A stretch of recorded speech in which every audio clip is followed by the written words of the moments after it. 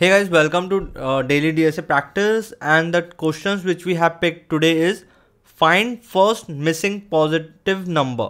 Right? It's a hard level question, but it's a very tricky question. I won't say it's very hard, but it's a very tricky solution is very easy, right? But as I already told you that getting up to an answer is not important. The whole process is important. So what we have to follow is we have to first find the use cases brute force approach its time complexity space complexity then we have to go for efficient approach time complexity space complexity write a clean code and during whole whole process we have to think out loud right? So with that approach we have to follow in today's question also. Okay so let's go and check the question Find first missing positive number. So the question is you are given an unsorted array. Right? You are given an unsorted array and with within this unsorted array you have to find the first missing positive number. First missing positive number. What is the time complexity is the expected O of n and this is time complexity and space complexity is big O of 1. So but let's say keep this aside for now we will slowly grow from brute force to efficient, right? But this is the question. Let's take one example which interviewer might give you. Very simple example generally interview will give. For example, it will give unsorted, right? So it will give, let's say 4, uh, 1, 2, right? So this is the array. And what would be the, so this is my num array. What would be the output? Here 3 because 3 is the first missing positive number right? So interviewer will give you only this example. Now you have to first identify all the use cases. This is very important right? So let's understand that find out all the missing use cases. Okay so now let's say that use case 1 what if negative is there? Let's say what if it is uh, minus 2 and uh, 1 4 1 2 same. But negative is also there right? So what would be the output here? So output here would be then uh, again 1 2 again output would be 3 only here. So you should be clarify with the interval why? Why not 0 because 0 is neither positive neither positive neither negative. So when we are saying right missing positive number. So missing positive number means greater than 0 so we have to first clarify with this use case. Right? So don't code. Don't think that okay 0 will be a positive. Clarify right? So first use case is negative. Even if it is negative we don't say that okay minus 2 after that 0 will come so this will be first positive. No. So greater than 0 so it would be 1 2 3 is missing so it would be 3 okay. What second use case? Uh, nothing is missing in array for example 4 uh, 4 1 3 2 now it's if you see it's all is there. 1 2 3 4 so what is the next missing number? Minimum output would be 5 right? Because 1 2 3 4 all are there so next would be 5 so you got it? So you have to identify this missing use case. So find the use cases first. Okay? Now second brute force approach okay so even if you know big O of 1 and big O of 1 solution I would always say that go take the interviewer from the brute force approach this thing. So first approach let's take an uh, input of uh, a simple. 4 1 2 simple example right? Okay so what would be the brute force first uh, i'm thinking is let's say what would be the minimum minimum is always minimum positive is always greater than 0 so it would be 1 right? So you iterate over whole array. 1 is there. Okay you found. Yes 1 is there. Then you increment it. Minimum equals to 2 check the whole array again. Is 2 is there? Yes 2 is there. Then increment this. 3 check. A whole array. Is 3 is there? Right? If 3 is not there so minimum array is 3 answer okay? So here if you see that what would be the time complexity right? So can you tell me the time complexity in the comment section for this one? Right? It's easy right? So for each till the minimum is not found right? We have to iterate. Just remember that what is the maximum we have to iterate. I told you right? 4 1 3 2 nothing is missing. So we have to maximum iterate n times. So n into n big O of n square. Okay so this is the first brute force approach. Second and space complexity is big O of 1 here. Second uh, approach let's say I will sort it. So when you sort it here 412 so first is sorting. So sort after that array will become 1 2 4 right after that iterate. After that iterate and find the minimum. What is the uh, time complexity? Big O of n log n right? So that is also little bit improved but we can improve further. Space complexity here is if we sort the same array so it would be big O of 1 third approach third approach would be let's say a little bit more efficient from n log n is let's say I'll take one space complexity. Uh, 4 1 2 let's say I am taking one space uh, 0 1 2 3 till 4 the maximum value. So 1 is there yes 1 is there. 2 is there yes 2 is there. 0 I don't want to consider itself. 4 is there yes right now iterate. Now when you iterate so you have to just see which one is the missing number. So this one is the missing number. So output would be 3. Is time complexity big O of n space complexity your the maximum value. Right? So what is the maximum value it can have? That would be the space complexity in this one.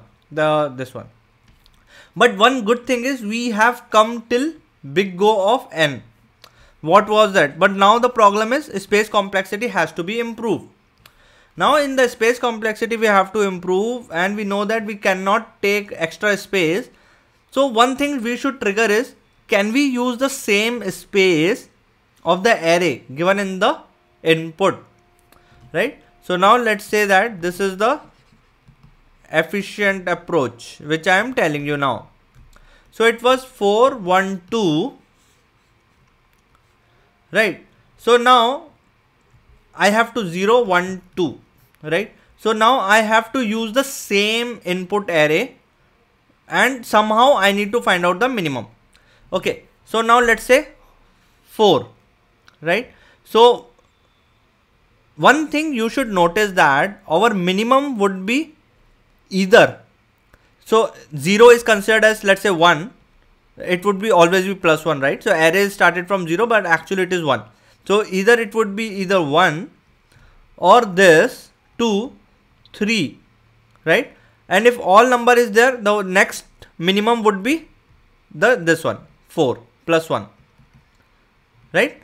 So that's the only possible uh, minimum could be. Either one if, if either this is missing either this is missing either this is missing right? But even if let's say 9 is there 10 is there we don't even care about this. So if after this 3 it would be 4 which is missing.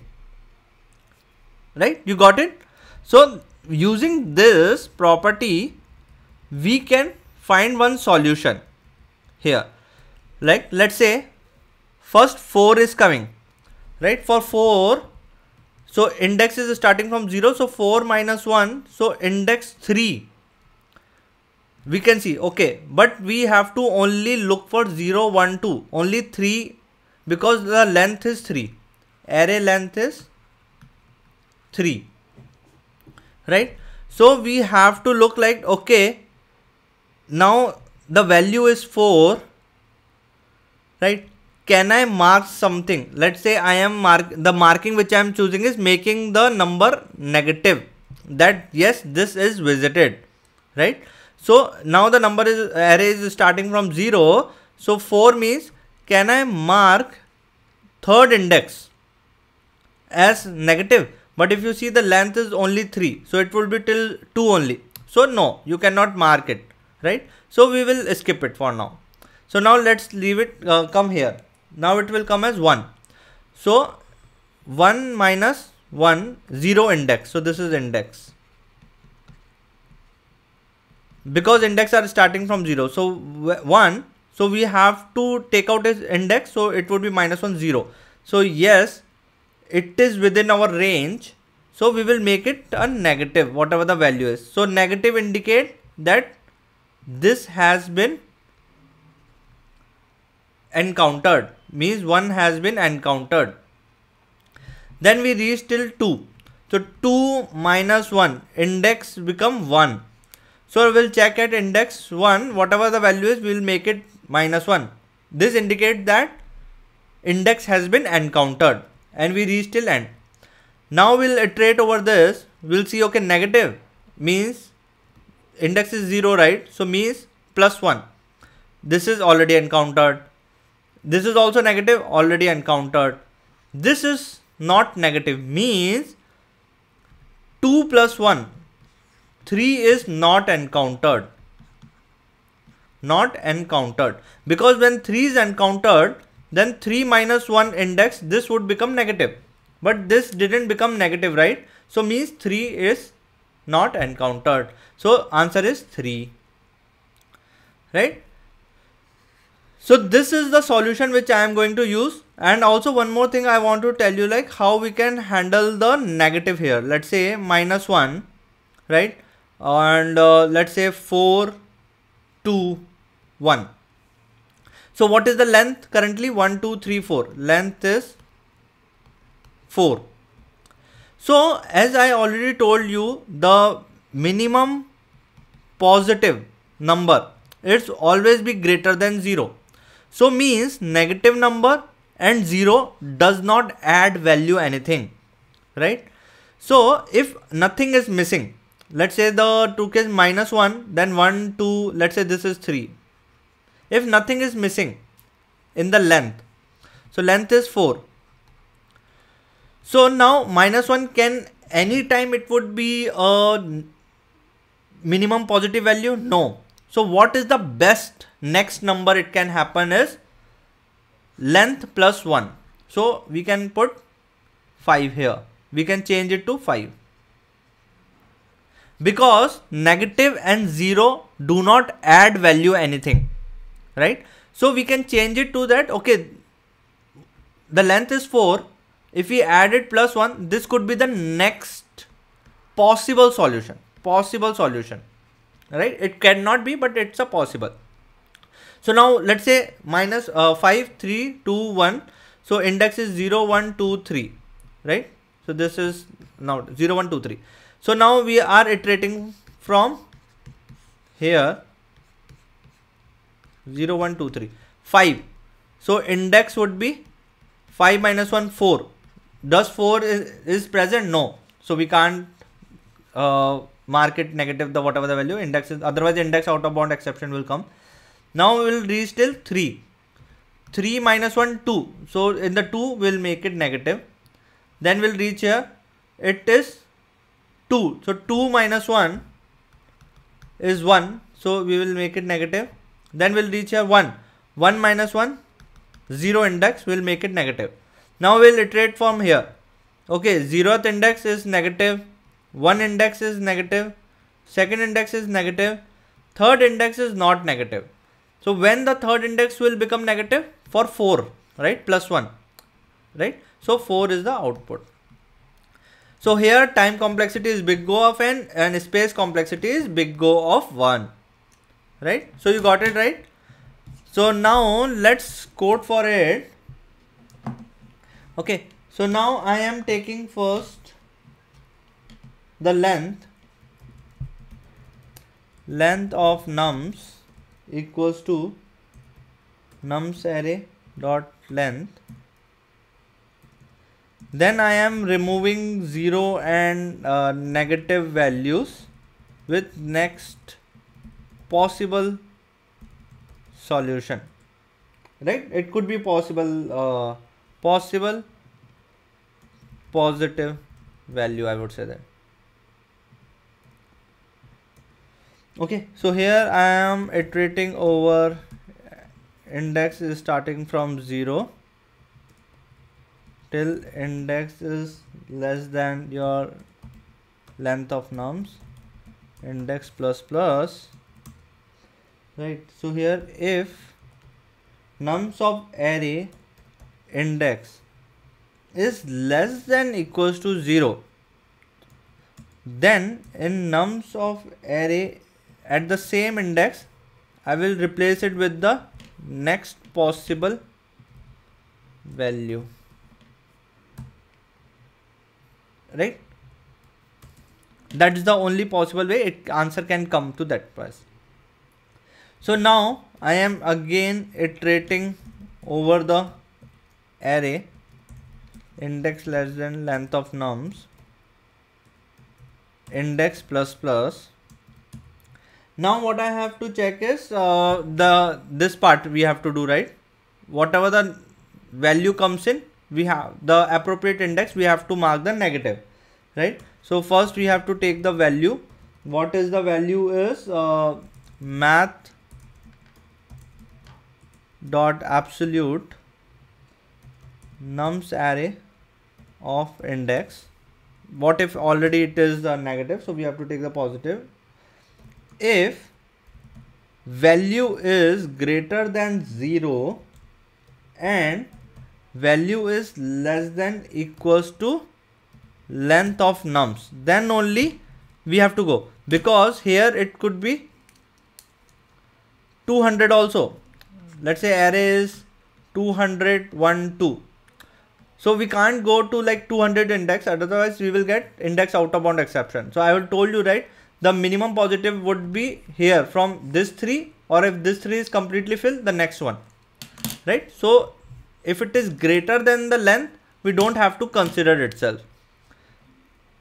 So nums array if it is within a range I have to uh, go to because index is starting from 0 so that's why I am taking right? So I have to take math put the same value but negate it minus 1 into and put the same value whatever the value it is present here.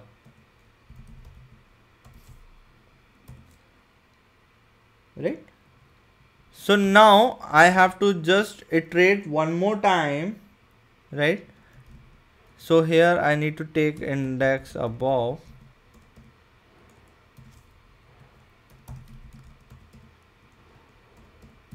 Index less than your length of nums index plus plus. Now I have to just check if nums array of index is greater than 0 means it is positive. Means greater than 0 means that index hasn't come. So I have to return index plus 1 and another possibility is that it crossed everything. So it's like 4 1 3 2 so means everything will become negative. 1 become this negative 4 becomes 0 1 2 3 4 minus 1 so this will become negative this will become negative this will become negative 4 1 3 2 so it will reach till end. Then what would be the next number? 5 right? So index would be index plus 1 okay so that's the solution. It's a pretty uh, simple question but the little bit logic is different. But all i wanted to tell you is that before going to the efficient approach even if you know it try to follow this pattern. Okay guys. See you tomorrow. Thank you and bye